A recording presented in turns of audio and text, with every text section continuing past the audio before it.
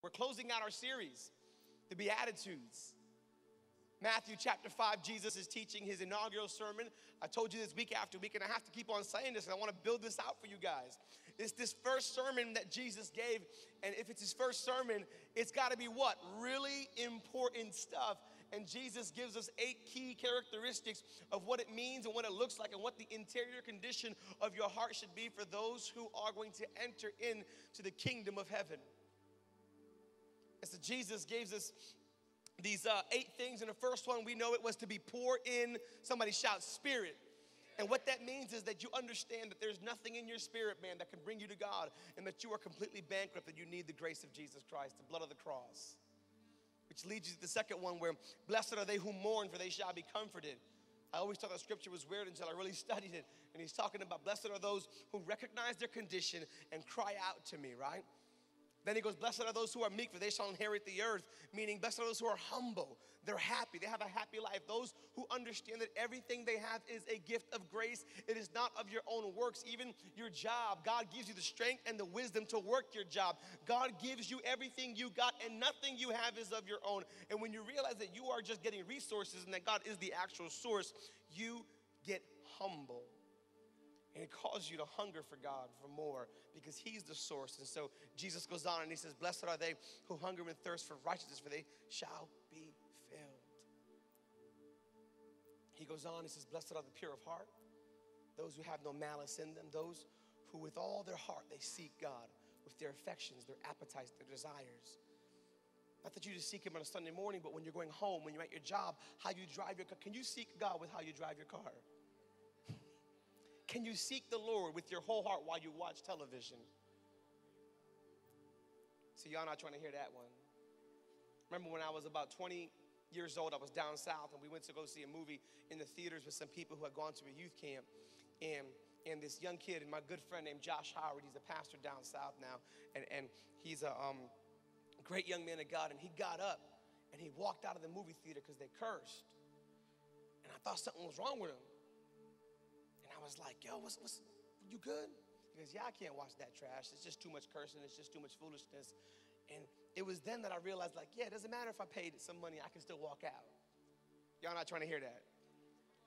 They don't want to hear about right living. It's just, you know, I'll preach to you, John. They don't want to hear about, about how it looks to actually, you know, make a choice for Jesus and be like, I'm not going to put before my eyes things that are cause me to sin. Yeah.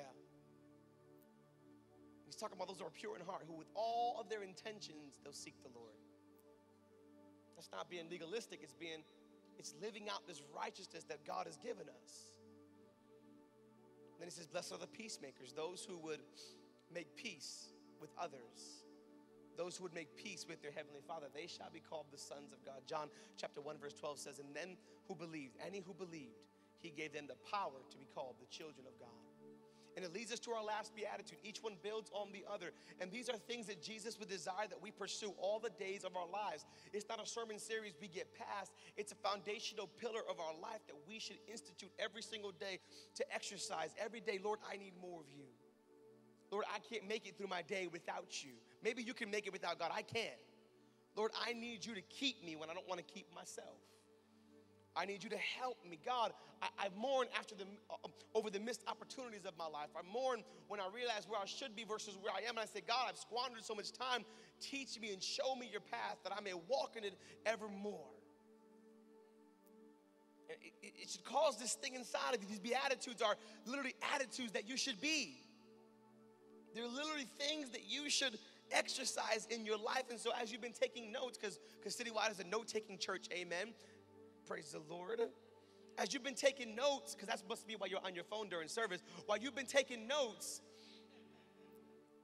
the Snapchat's not notes. You would look back over it throughout the week and say, God, I realize what you're trying to say to me. And Jesus goes into this last beatitude, and it's kind of weird.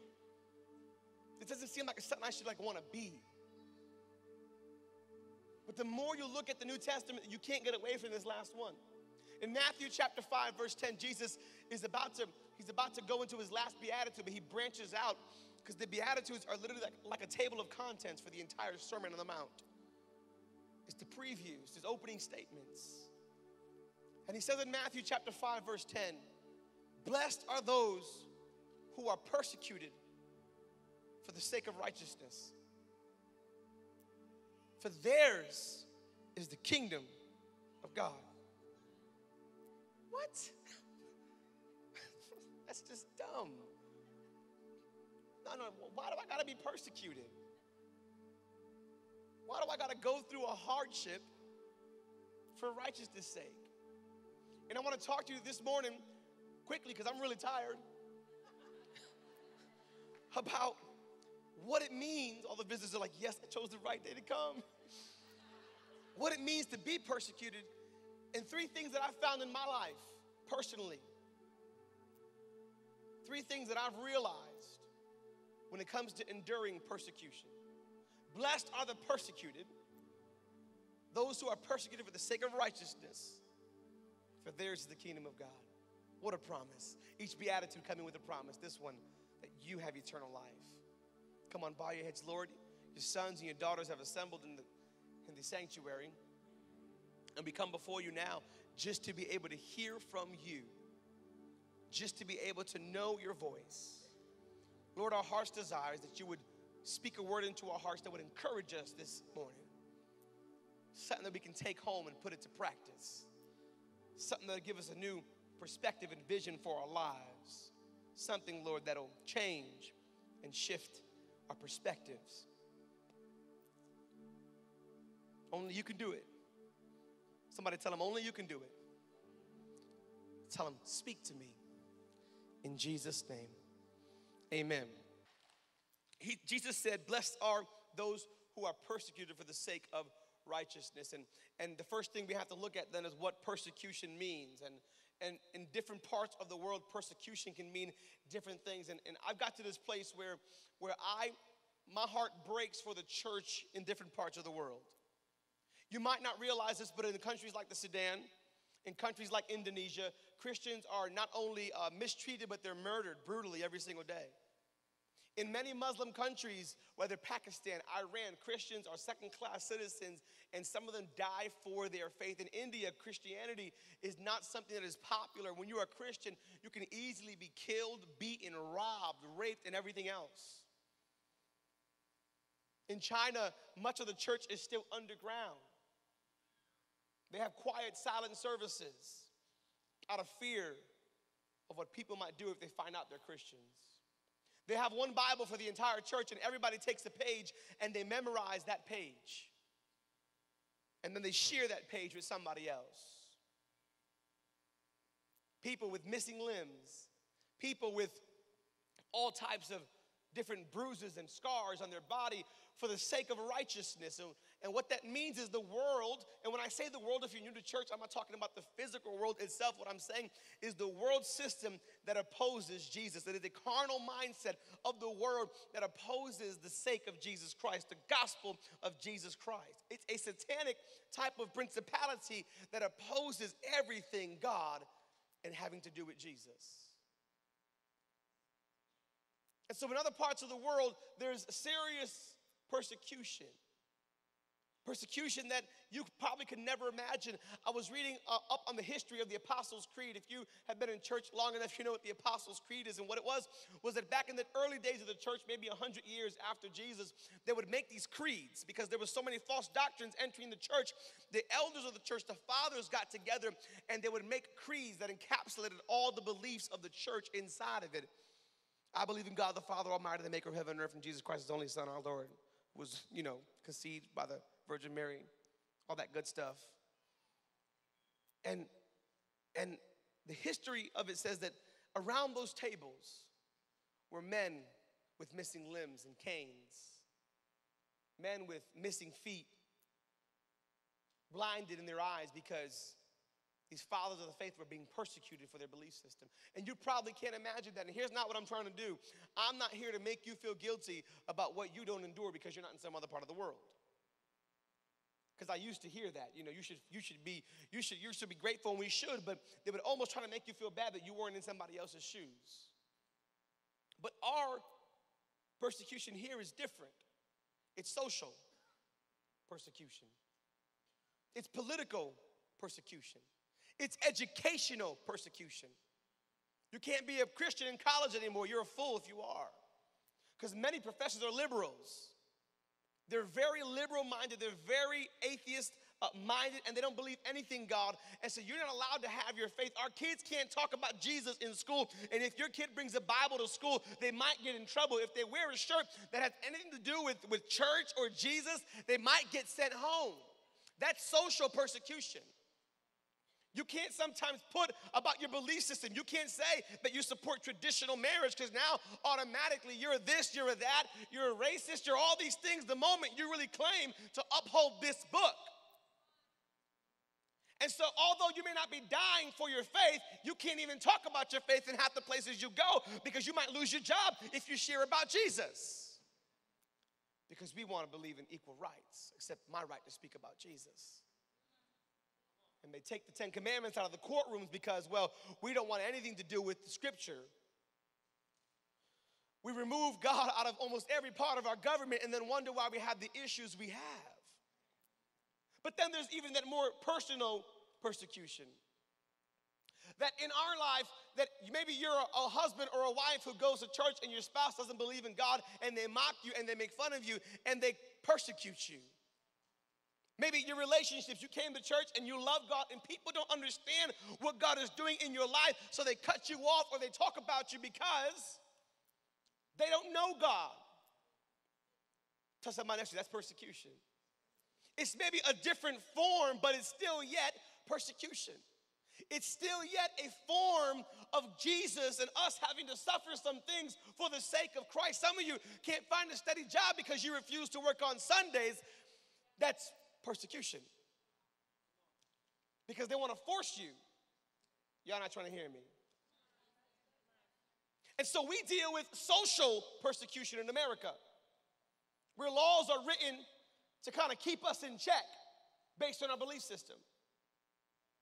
Where we're not allowed to have traditional biblical views because now it's considered to be unpopular, archaic.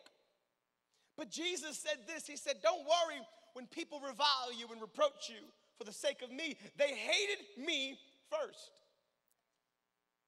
They hated me first. And whenever you deal with persecution, you deal with people at your job, atheists maybe, or, or non believers who mock you and make fun of you. I want to talk to you today about how to deal with these persecutions. Paul says in Philippians chapter 1, verse 12, I'm reading from the New International Version of the Bible. He says this Now I want you to know, brothers and sisters, that's you and me, that what has happened to me has actually served to advance the gospel. As a result, it has become clear throughout the whole palace guard and to everyone that I am in chains for Christ. I am in chains for Jesus. Now, you might not know what this means, so let me give you the backdrop. Paul was a mighty man of God, an apostle among apostles. He wrote two thirds of the New Testament, but much of his writings were written in times of persecution. Paul was no stranger to persecutions. Paul was definitely not a stranger to hardship and to going through some things in your life. Paul understood he was beaten, he was robbed, he was left for dead. They tried stoning him multiple times. And while he's writing this book of Philippians, this epistle to the church in Philippi, he is in jail. This is what we call one of his prison epistles. There was a number of the things of the books of the Bible that were written while Paul was in jail. Ephesians, Colossians, Philippians, and um, Philemon were all written while he was locked up. And when you read the text and you see the joy in his life, regardless of his circumstances, come on. And so he says, Listen, guys, I've, I've come to the conclusion that what I'm going through is for the sake of Jesus, and it serves to advance the gospel and so I don't have to fight back because the victory is mine, the battle's God's. I don't have to worry about how, what I'm going through because even my chains are advancing the gospel. Maybe I can't leave to preach, but my testimony by itself is preaching a sermon to those around me. And all the Roman guards and everybody in this palace knows the God that I serve because of the chains that are on me. Here's the first thing I've noticed about this Here's the first thing. Here's point number one there are chains that hold you and chains that mold you. There are things in your life that can hold you back in your own mind, but in reality, it's designed to mold something in you. And if you hadn't been afflicted, you wouldn't have seen the hand of God in your life. And if you hadn't gone through a trial or a tribulation, God wouldn't be able to refine something in you. Tell somebody next to you, you're not being held, you're being molded right now. And you might go through a through a tough time, a season in your life where you feel persecuted. Even the church across America, in many ways, is silenced and quieted and is persecuted, but yet it's molding, it should mold something in us a steady confidence, an ability to pray and seek God, that we would call out for deliverance from our Father.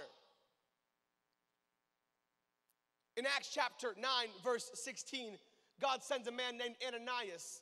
In the beginning of chapter 9, Paul has just encountered Jesus. Jesus literally appears to Paul on the road to Damascus. He slaps him off of his horse. He beats him down and says, Yo, why are you persecuting my church? That's the Lewis version. I'm sorry. It was my upbringing. I'm from Bridgeport. And he says, Why are you? And he says, Who are you? And he says, I am Jesus. And he blinds Paul, and Paul is sitting at a person's house blind, and God sends a man named Ananias. And Ananias was afraid because Paul had previously been a great persecutor of the church. He would kill people, he would lead them to jail, he would beat them, he would drag parents out of their households in front of their children, and he would drag them off to prison for their belief in Jesus Christ. He was a persecutor of the church. And Jesus says to Ananias, Go tell Paul, Acts 9 16, this message. And among the things that God told Paul was, I will show him how much he will have to suffer for my sake. Because some of you have it in your mind that Christianity isn't about suffering. You have it in your mind that maybe because you're a Christian, you don't have to endure some things. You have it in your mind that maybe because you're a Christian, everything in your life will just be okay. Now, I'm not promoting the life of a struggle either. Because just because you're enduring doesn't mean you have to struggle. Just because you're being persecuted don't mean that you have to feel like if you were defeated. But I want to teach you today how to get through some things and have a new perspective that that relationship that somebody might be persecuting you at work or whatever else, maybe God is just, you know, kind of equipping you with some patience. I've learned this in my life there's, there's things that will hold you, but if you let it, it'll also mold you. It'll teach you. It'll, it'll, it'll kind of just help you in your life because what you thought you couldn't do before, you have no choice but to do now. Because you've been going through some things and you've had to turn to God on every single angle of your life. Paul knew what it was, and he said, Listen, you know what? Matter of fact, these chains, they're not holding me, they're molding something in me and in other people. Everybody around me knows about Jesus. Everybody around me, they're molding a steady confidence in people. It's, it's the Lord God working in me. It sparks something in others when they're saying, Why are you happy while you're chained up, Paul? Why do you have joy unspeakable? At the end of Philippians, Paul says, I've learned to be content in every situation of my life. Why? Because God has built up in me a steady confidence. These chains are molding something in me. I'm becoming more humble, more meek. These chains are developing in me a patience, a trusting in the Lord, an ability to lean on God, to be still and know that He is God. Some of you find all of your identity in what you do, not whose you are. And God's like, no, sometimes you need to be broken so I can just tell you, wait and trust me as I process your life. You're not being held back. God is molding some things in you because if you let you go right now, you might wreck yourself. And sometimes when you deal with persecution in your life in any type of form, you have to realize that Jesus was hated first. He said in John 15, Hey, by the way, guys, if anybody hates you, just remember they hated me first. As a matter of fact, the world doesn't hate you, they hate the Christ in you. I'll prove it to you because the friends who will turn their back on you because you won't go out with them anymore, if you call them to go out with them, they would go with you.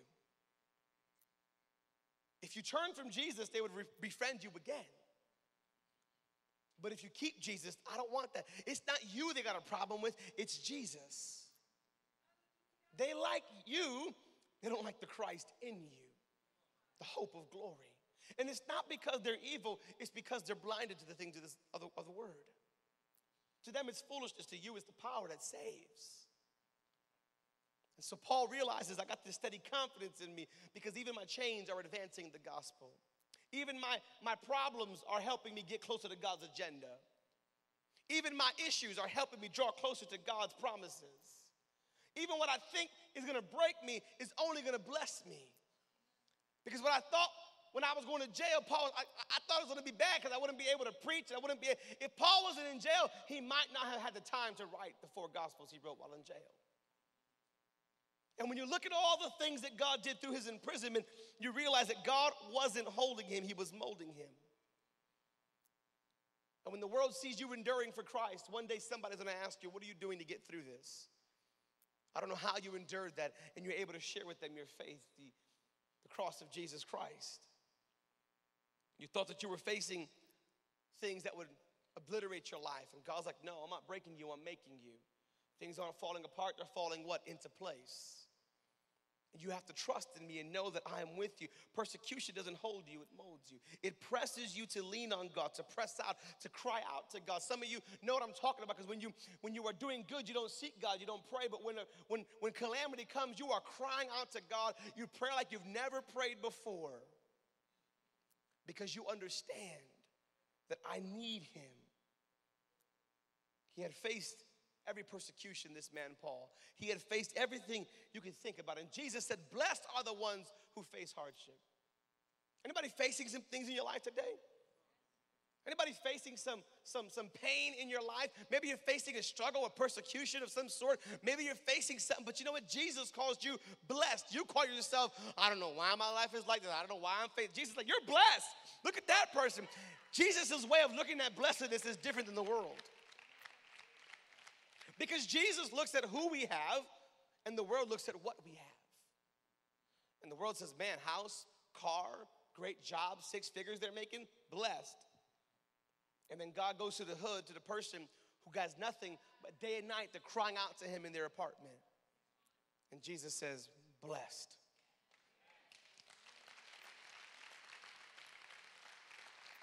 Now, I'm not glorifying you to be poor. That's not what I'm saying. I'm just saying that God's system of measuring things are different than the world. I'm not saying you can't make money. That's not what I'm saying. Don't, don't misjudge what I'm saying, church. I'm trying to tell you that his scale for blessedness is different. When you're going through for the sake of the kingdom, just remember that he's molding something in you. Blessed are those who endure persecution for the sake of righteousness, for theirs is the kingdom of God. Theirs is the kingdom of heaven. Theirs is the kingdom of God. Some people might not understand why they need to face persecution. You might, you, you, you might be like, well, okay, I get why he said that I'm blessed if I get persecuted, but why do I need to be persecuted? Like, that's just, I don't understand that. How many of us would say, like, God, why do I have to go through this? And I'm so glad you asked. I, I tell you, you guys really always, every Sunday, you always ask the right question at the right time. And that really blesses my heart, honestly. And I go home on Sunday, I said, God, how did they know? It's just, it blows me away every Sunday. And, and you might say, well, why do we go through it then, Pastor? Why is that necessary? Well, number one, the deeply spiritual issue is because the world hates Christ in you.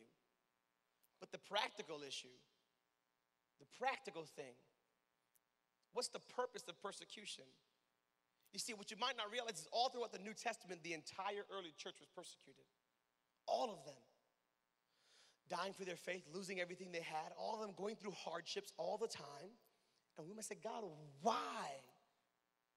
Here's the practical part of persecution. Here's point number two Persecution doesn't strip you, it equips you. It doesn't take things away, it gives you more.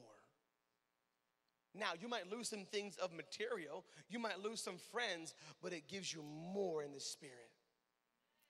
It produces something in you. It equips you with the spirit. The Bible says in 1 Peter 4:14, if you are insulted for the name of Christ, that's persecution, you are blessed you had an opportunity right there to really like, you know what?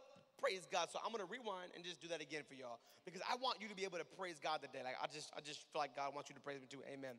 And it says here in 1 Peter 4:14, if you are insulted for the name of Christ, you are blessed.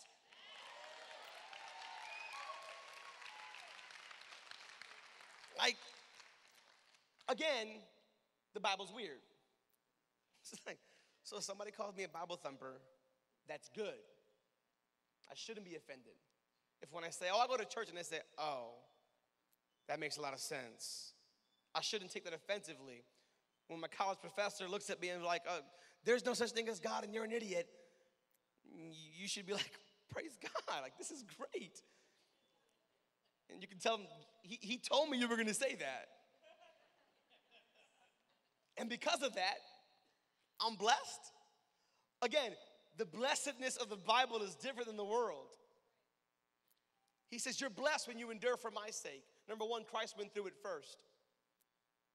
But here's why you're blessed because the Spirit of glory of God, it rests upon you. That when you are persecuted, the Holy Spirit in another level descends on you in glory. And you begin to be equipped with all the gifts and the fruit of the Spirit of God. When you are enduring it, it's God refining. Don't ask God to help you be humble. He will give you some people in your life who will test your patience. Yeah. Don't ask God, I'm telling you, don't ask God to help you love somebody because He will put some very unlovable people in your path. And He'll be like, You told me to help you love. You just want to love good people. It's easy to love nice people, but you got to learn how to love those who you feel like you can't even look at because they get on your nerves that much. Uh huh. And so, God, through persecution, often, He will stretch you. Through your unbelieving spouse, He might challenge you to be constant in Him and not lose your faith. To be constant in Him. Persecution doesn't strip you, it equips you. When you go across the world to the persecuted church and, and, and they, you go to a kid and talk to them about how they lost their parent and how their father or mother was beheaded in front of them, they're full of joy that their parents were able to suffer for the sake of the gospel. You go talk to them and you're like, yeah, dad died, but I'm so happy that he got to suffer because why? Because the Bible says I am blessed. Now, my reaction to that is the same as most you guys. Like, I don't know why. But the reason why is because the practical part of this is persecution equips you. Because God works in you patience, love, kindness, gentleness. Jesus called it to be blessed.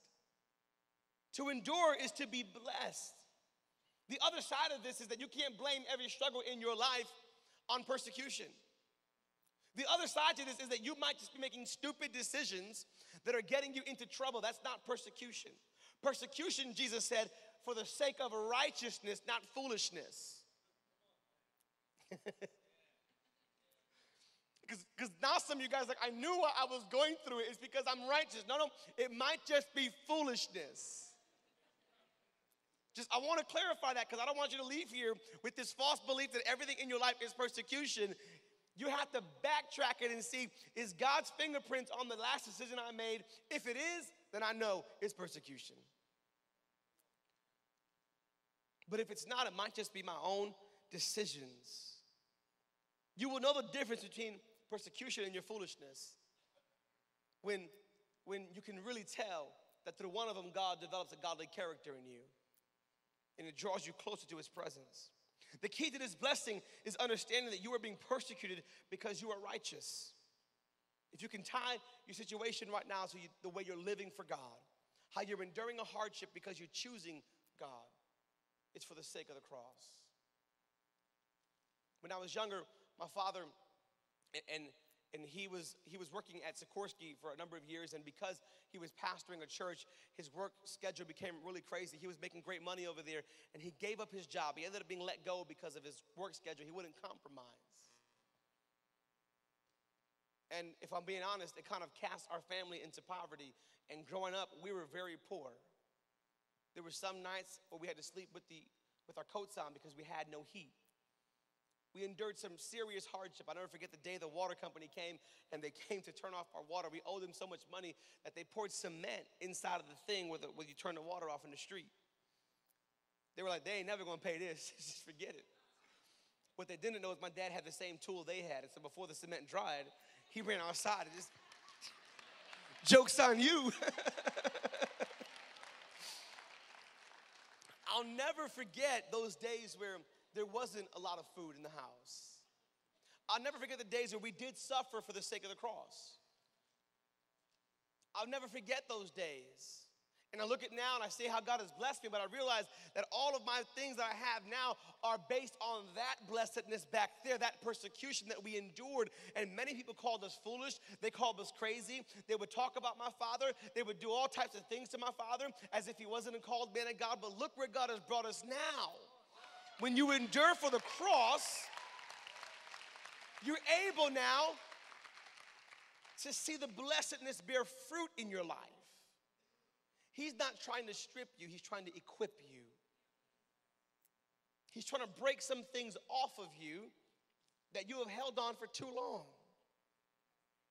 Have you ever have you ever gone into your fridge and realized that like a lot of the stuff is expired? Like old sauces and like just like barbecue sauce from 2014? You got a mustard from the first back to school event?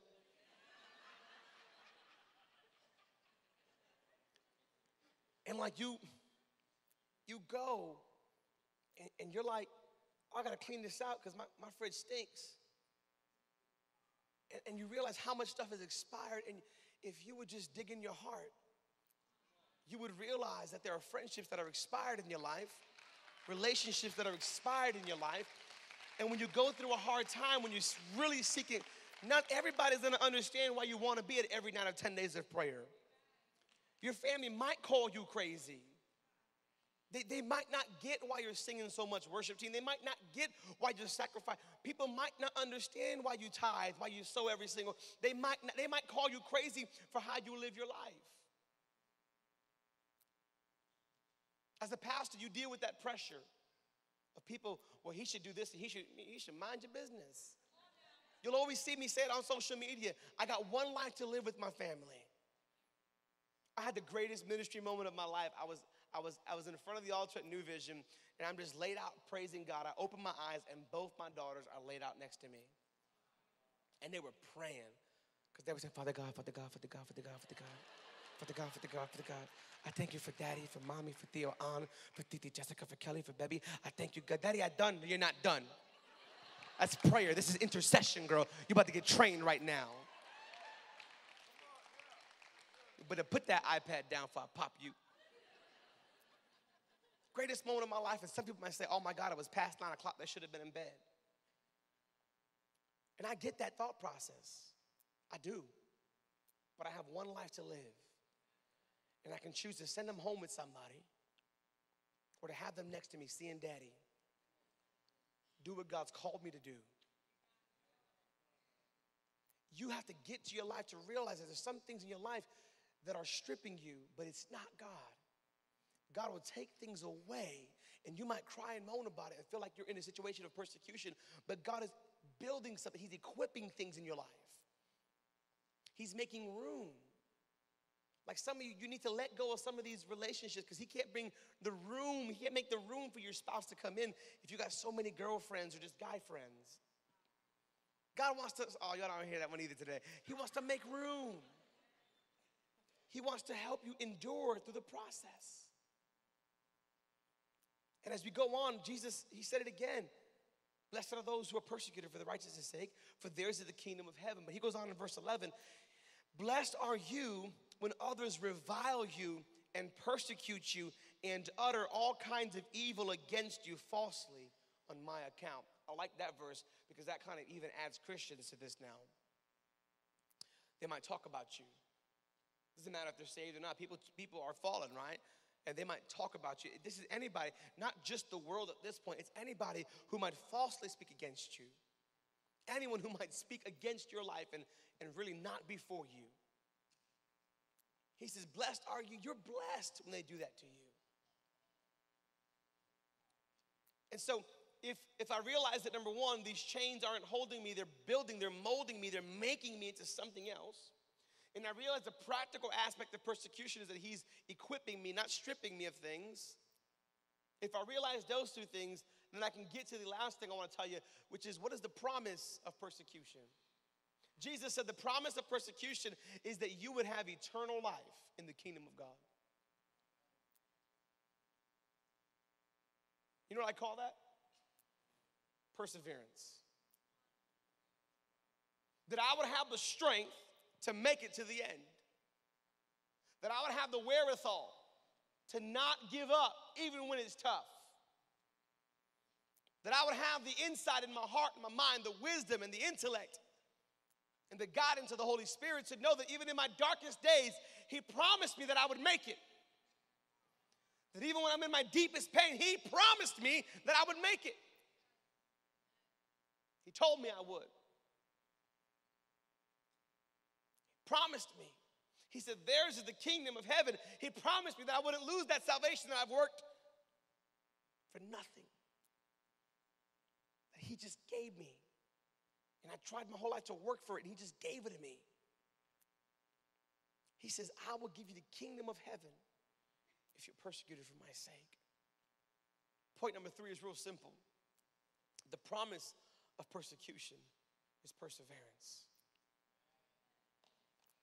I know, I know, I know.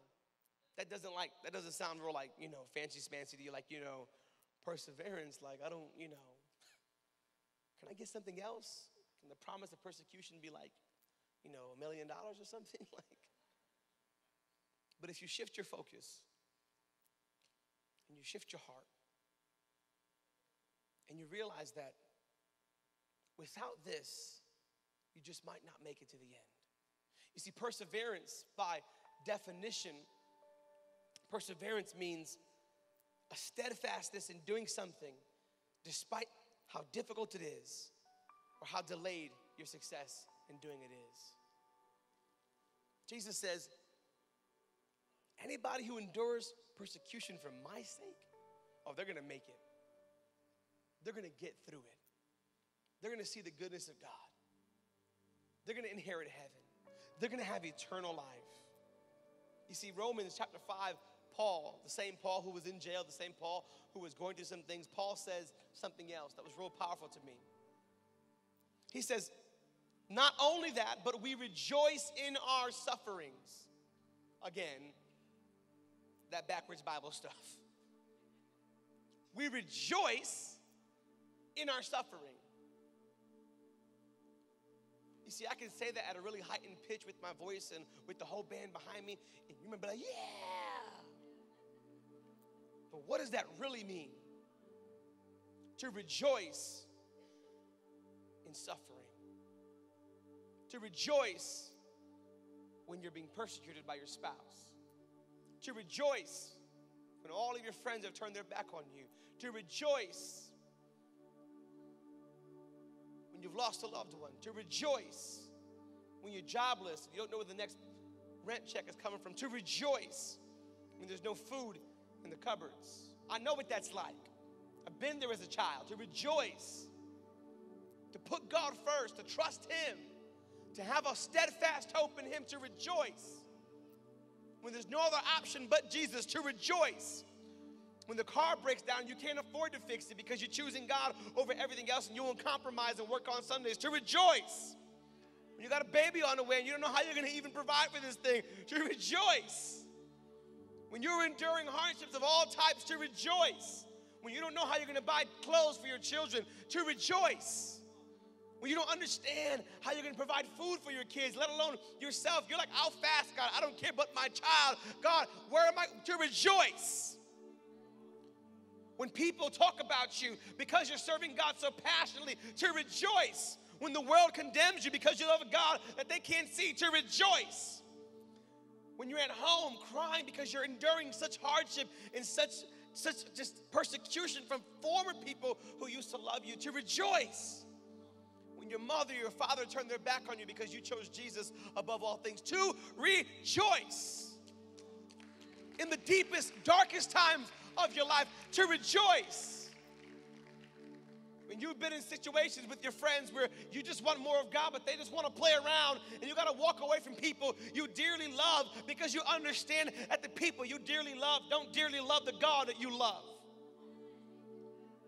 You got to be alone for a season. Two, rejoice.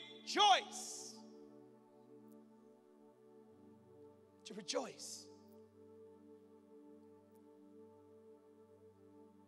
to bring joy. My dad used to really have that down to a T. I'll never forget one morning where we were eating pancakes and there was not enough syrup for all of us.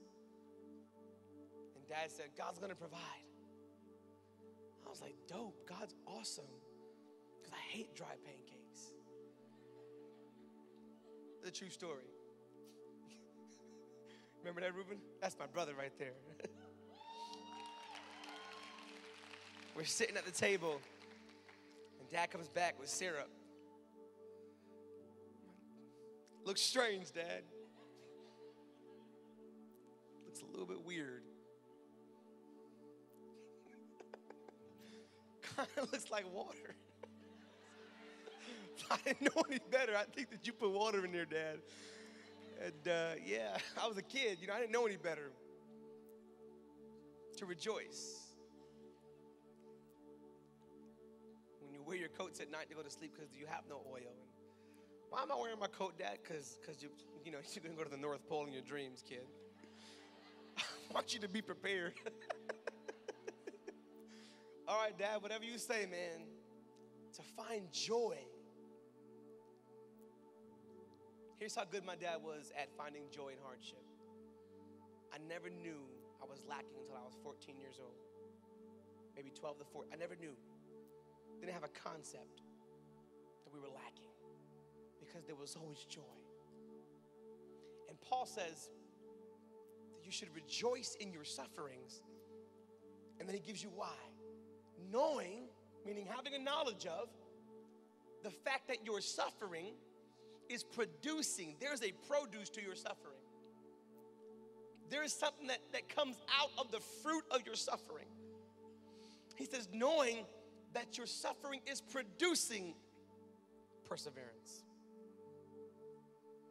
It's producing a grit inside of you that says, I'm gonna make it. It's producing a steady strength in you that says, don't matter, I'm not going to be shaken. It's producing a godly confidence in you that says, I know that at the end of it all, I'll make it. I may lose my life, but I know that I'll make it. This is what they realize in all different parts of the world. They may take off my head, but all they're doing is setting me free to meet Jesus. They may take my children, but they're sending my children to. There's a steady boldness and a steady confidence that is coming your way because suffering produces something in me. And it goes on, it's like a, it's like a, a recipe because my suffering produces perseverance, and my perseverance produces endurance. And my endurance produces hope in me. And hope is never put to shame because God loves me and He's poured out His Holy Spirit on me in my heart. And He won't forsake me and He won't leave me because I got Him with me. I got a steady confidence to realize that I am going to heaven no matter what because the kingdom of God is mine because I've been persecuted for some things. I'm not going to worry about anything. I'm not going to fear about this life. I realize it's a testing ground for my final resting place. His arms, heaven, the kingdom of God. Rejoice in your sufferings. For blessed are you who are persecuted for the sake of righteousness. Blessed are you. When Jesus says that you are blessed, you are blessed. Blessed are you. And there might be some here today who say, you know, I'm just not seeing it, Pastor. I get what you said, and it sounds really good in theory, but the, the, the, the reality of it is I'm still hurting and I'm still suffering. Nobody said persecution won't hurt. We just know that there's help. But here's what Paul would go on to say in Romans, the eighth chapter, because these books of the Bible are written as one long letter. They were never divided into chapters until a couple hundred years ago. And so you should read it all as one letter. And in chapter 8, Paul says, I don't count my present sufferings to be able to be compared to the future glory that awaits me. In other words, no matter what I face in this world, no matter how bad things may look on this side of heaven. I would never compare my sufferings to be able to be even remotely comparable in the smallest, most minute facet to the glory that awaits me in heaven. What are you saying, Pastor? What I'm saying to you is that the small pain here in this life that almost makes you feel like you want to quit, but you can't because He gave you perseverance. That you want to give up, but you can't because He gave you endurance. That are moments where you wanted to just call it, I'm done, I can't. I'm just, I, I love God, but I'm just tired of just this. He gave you hope. A hope that won't be put to shame, He said, because His Spirit is in you. To you, He says, What I have waiting for you, you can't even put into context the great, vast reward eternity waiting for you. I don't consider my present sufferings, Paul said, to be comparable to the wealth of heaven that awaits me, to eternal life with Jesus Christ. Blessed are those who are persecuted for the sake of righteousness. Blessed are you when they talk about you, and blessed are you when they revile you, and blessed are you when your family turns their back on you. You're blessed. That's the real blessed life right there. Anything else is just an extra. That you know and have an assurance that yours is the kingdom of heaven. You see, when you realize this, it gives you strength to face tomorrow. It gives you a confidence to say, you know what? I'll stand up tall, even though I'm short. I just as tall as I can. I just I stand. I won't hang my head because I've been forgiven. I won't moan about my life because I've been chosen. I won't complain about my circumstance because God wrote the story of my life. And just because I don't like the chapter don't mean I have to hate the book. Just because a couple of verses don't make sense to you doesn't mean I have to throw away the whole book and say, this ain't working for me. It means that when I know that I'm enduring something, that I can say, God, above all things, I know you're with me. Some of you are enduring some hardships spiritual, financial, marital. Some of you are searching for something new today. And I pray hope over your hearts, your minds, and your souls. Every head bowed, every eye closed. Do something a little bit different today. Now, if you're looking at me, I will come. I'm telling you, I've done it before. Every head bowed, every eye closed. By a show of hands, are you enduring something today, small, great, that you need some hope for? Come on, just lift your hands up. Lift your hands up. If that's you, if you're not, don't raise your hand. But if you are, and you're saying, you know what, I'm going, I'm actually here. There's about four of you that came here today for the first time, and you're really looking for God to do something right now because you have a right now need. Well, I serve a right now God. Come on, hands up if that's you.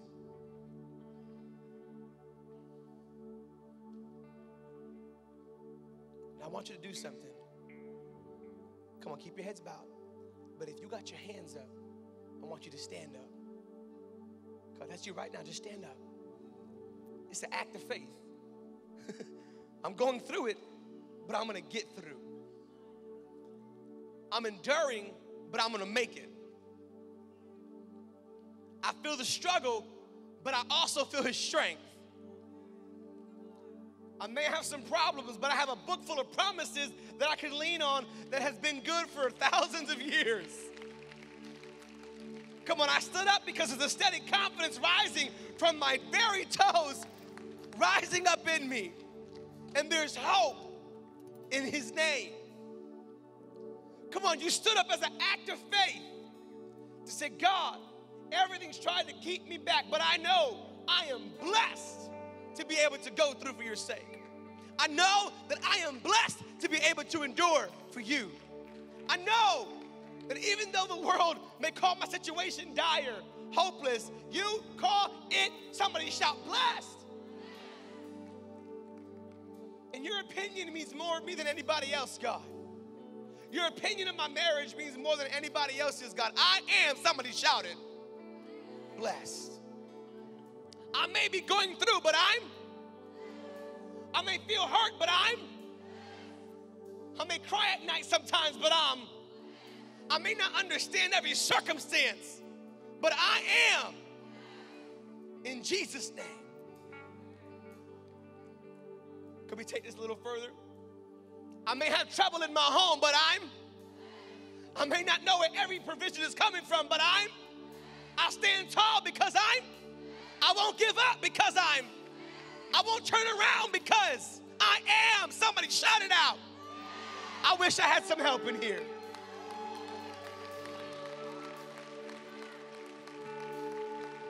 I've come too far to go back now. I got too much seed in the ground to give up on my harvest. I am. We're going to take this up another notch because the band's going to help us out. You ready for this? Are you ready, church? You have to be able to profess this because tomorrow we won't be here. Tomorrow there's gonna be no band behind you. So you gotta get this deep in your soul right now. I don't know what I face when I leave here, but I am. All right, you guys are getting this good. You ready, Stephen? We're gonna build up. We're gonna do something. We're gonna make some noise for Jesus. We're gonna declare this until something just like I feel like God wants to just flip a switch in your heart. Because there's some people you're saying it, but you you're about to really believe it in a second here. Hope is rising in you. If you believe that, your hands uplifted. I'm standing tall in this moment, in the midst of trial, because I am. I'm with Him no matter who's against God, because I am. I won't turn my back on Him because I'm. Y'all are doing really good. I don't care who's against me because I'm. And if God is for me, who can be against me? I'm gonna stand in my blessedness. I'm gonna stand in my promise. I'm gonna stand and shout and give him praise forever and ever. I'm gonna get through this. I'm gonna persevere because I am. There's hope in his name. Somebody begin to praise him right now. You are blessed. You are blessed in Jesus' name. I'm not giving you a blessing, He gave you the blessing. Come on, you can do better than that. Give Him praise, right? I'm blessed. Blessed, highly favored in Jesus' name. I may be enduring, but He's giving me hope. He's giving me hope. In Jesus' name, I am blessed. In Jesus' name.